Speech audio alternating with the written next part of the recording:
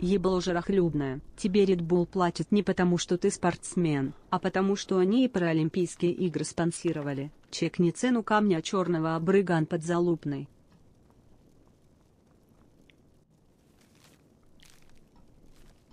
Пять.